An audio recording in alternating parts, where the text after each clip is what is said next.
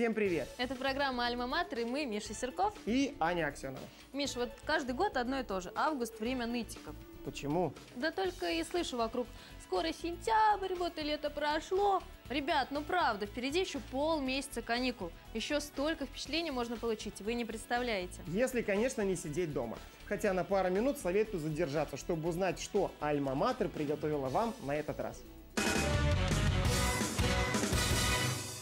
Поделились опытом, завели дружбу. Могилев принял гостей из Брянска на межрегиональном молодежном форуме. Круто ты попал на ТВ. О студенческом телевидении в Горках расскажем через несколько минут. Более 50 совместных молодежных проектов планируют реализовать между Могилевской и Брянской областями. Межрегиональный молодежный форум прошел в Могилеве. Из Брянской области к нам приехали порядка 60 участников. Обсуждали сотрудничество в сфере туризма, культуры, спорта, образования. Обменялись опытом работы молодежных парламентов. Я э, являлся членом молодежного парламента прошлого созыва. Э, хочу сказать, что есть принципиальные различия, различия даже э, в возрасте членов парламента. Все-таки наш молодежный парламент ставит одной из основных своих целей – это законотворческую инициативу. Действительно, за я боюсь ошибиться, по-моему, три или четыре созыва уже было этого парламента. Действительно много законопроектов, законодательных инициатив вышли э, из молодежного парламента. Многие э, и сейчас находятся в стадии разработки. Направление деятельности во многом схожи. Очень э, большой интерес лично у меня вызвала э, проектная деятельность, которую вот рассказывали. Действительно, количество проектов, которое было озвучено в вашем молодежном парламенте, оно заслуживает внимания. А, мы пообщались с нашими брянскими гостями, рассказали им о нашей работе Белорусского республиканского союза молодежи, рассказали об а, акции, которая у нас будет в ближайшее время. Вот, поделились своим опытом с ними. Что за акция? А, акция «101 идея Беларуси». Вот, у нас был макет «Умный дом». Вот, они тоже очень им заинтересовались. Во время форума договорились и о совместных молодежных мероприятиях, фестивалях, слетах, проектах. Стекольческим районом и практически два раза в год наши дети выезжают на соревнования по Стековиче, и дважды к нам приезжают наши соседи к нам, ко мне лично в школу, и мы проводим соревнования, посвященные Дню освобождения Унического района, посвященные воинам-афганцам, а приезжая в Стековиче, это соревнования, посвященные Дню независимости 3 июля Беларуси и Днем физкультурника это 27-28 мая. То есть у нас такая традиция добрая, и дети с удовольствием, и мы приезжаем делегациями, обменимся своими эмоциями, мнениями. Участниками форума стали более 170 человек. Такая встреча еще и неплохой обмен опытом для лидеров молодежных организаций. Я думаю, для Брянска это очень полезно, что посмотреть, как устроены наши университеты, как тоже студенческое самоуправление у нас реализуется, какие общественные объединения у них есть, какие у нас. То есть для меня, допустим, было открытие, когда называли э, некоторые общественные объединения. Там, Молодая гвардия, Единая Россия. Благодаря данному форуму, по крайней мере, можно показать, что а, друж, дружественные отношения с а, Республикой Беларусь, у меня тоже белорусские корни, могу сказать, что такие форумы необходимы, необходимо проводить такие форумы, для того, чтобы мы, как молодежь, объединялись, общались. Мне очень интересно, допустим, было пообщаться с молодежью а, Республики Беларусь, для себя выявить какие-то определенные лидерские качества там, у других людей, представителей молодежного парламента. За два дня форума участники успели подружиться и обменяться личными контактами. Если вы приедете к нам, я вас первым делом приглашу в свою альма-матер, Брянский государственный университет имени академика Ивана Георгиевича Петровского. А, поверьте, нам есть что вам показать, поверьте, нам э, есть с кем э, вас познакомить. Ну и, конечно же, уже после этого, я думаю, что экскурсия по нашему родному городу Такая возможность представится уже через год. Второй форум межрегионального сотрудничества Могилевской и Брянской областей в рамках союзного государства пройдет в 2017 году уже в Брянске. Только ленивый еще не побывал на школьных базарах. В Могилеве самый крупный напротив торгового комплекса «Парк-Сити» в Казимировке. Мы подсчитали, собрать в школе младшеклассников можно за 160-480 рублей. То есть в пересчете на старые деньги от миллиона 600 до 4 800. Старшеклассникам сборы к 1 сентября обойдутся в 260-560 рублей или в 2,5-5,5 миллионов. А между тем и сами школы готовятся к сентябрьской встрече с учениками. Наводят марафет. Наш корреспондент Веста Смирнова отправилась в Шклов, чтобы узнать, как там идет подготовка к учебному году.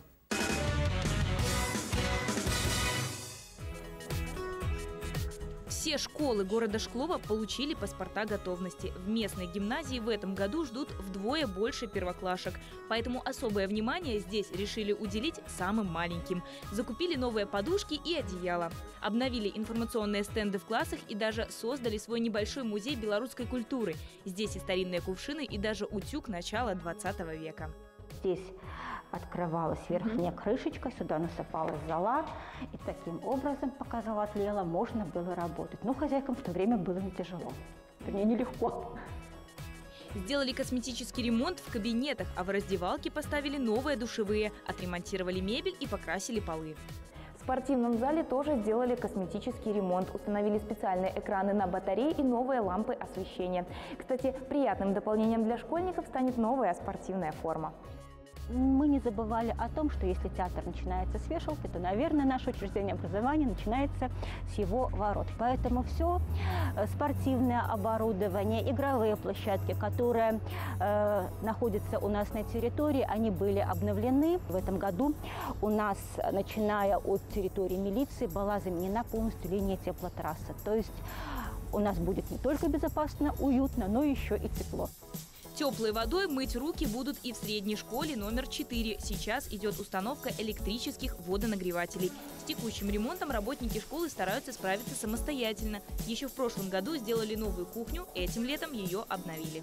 Организация здорового питания в школе э, уделяется большое внимание. В этом году э, Благодаря родительским пожертвованиям, силами родительского комитета, попечительского совета, внебюджетной деятельности нами было приобретено стеллажи были приобретены на пищеблок. Была обновлена посуда практически полностью, тарелки, чашки, приборы недостающие куплены. Школа номер 4, единственная в районе, имеет свой приусадебный участок. На грядках лук, капуста, помидоры и огурцы. Кстати, для удешевления питания на 2016 год готовят соленья. В рамках школьной практики девочки помогают на кухне. А умеете солить? Или вам помогают? Помогают. Точнее, мы помогаем. Руководство надеется, что скоро смогут заготовить и фрукты, которые будут подавать на полник. Возле школьного огорода в этом году высадили небольшой яблоневый сад. Кстати, этой работой занимались не учителя, а выпускники юбилейного 50-го выпуска. Ребята высадили 50 деревьев. А вот на этой клумбе трудятся дети из школы номер один, отрабатывают школьную практику. Девочки ухаживают за цветами, мальчики занимаются работой потяжелее, а в кабинетах уже сделаны косметические ремонты. В спортивном зале работы еще продолжаются, но к сентябрю обещают успеть.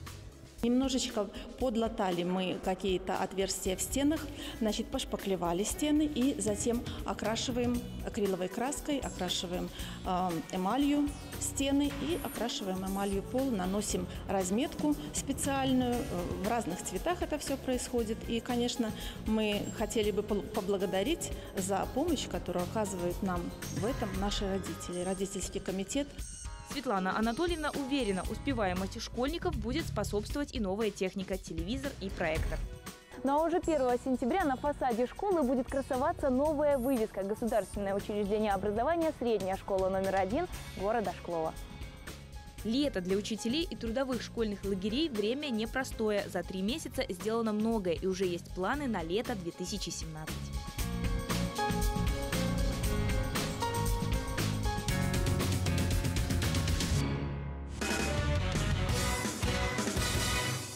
Телевидение, репортажи, съемки, выпуски – целый мир, попасть в который многие только мечтают. Ну, кто мечтает, а вот студенты Белорусской сельскохозяйственной академии взяли и создали свое телевидение. Альма-Матер заглянула в горки и увидела, как работает молодежное ТВ.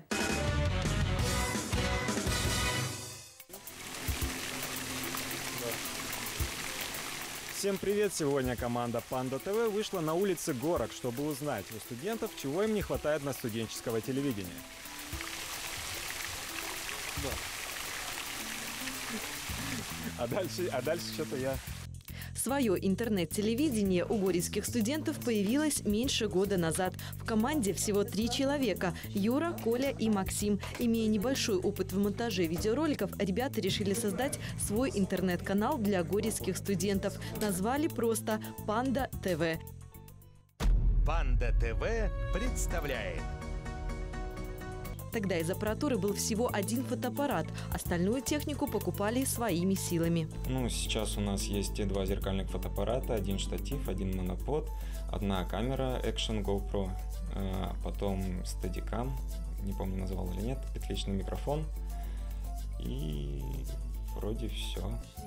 Сейчас ребятам не хватает разве что динамического микрофона, но студенты придумали, как выкрутиться.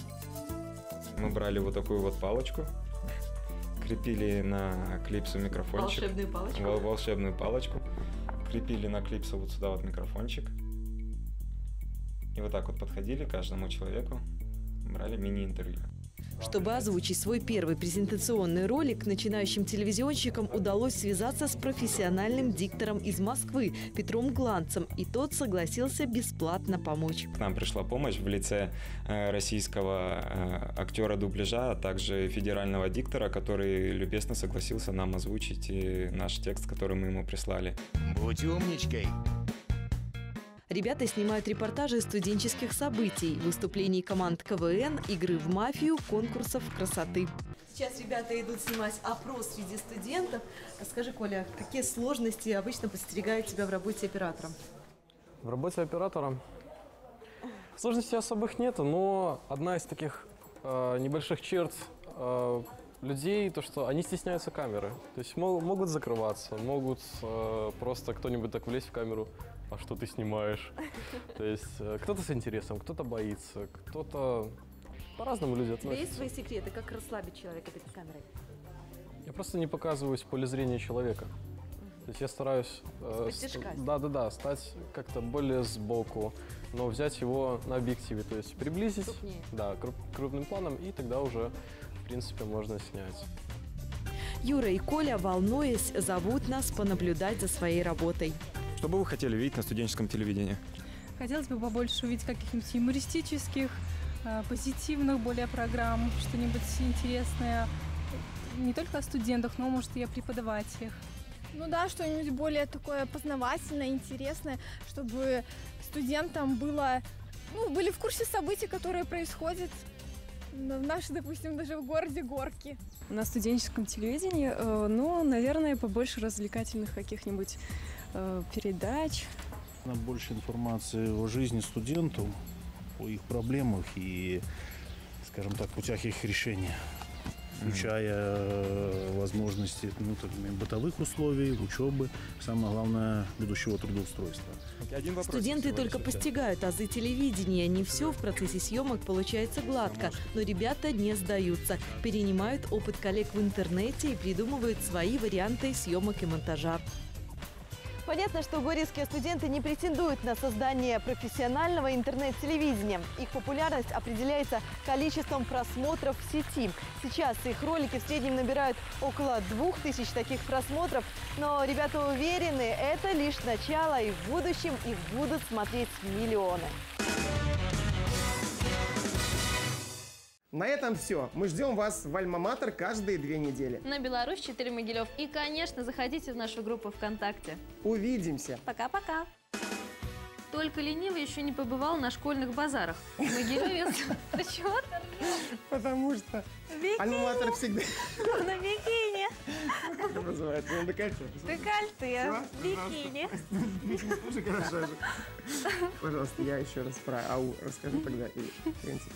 Первую надо переписать. Первую. А что там получилось? Там были передачи всякие.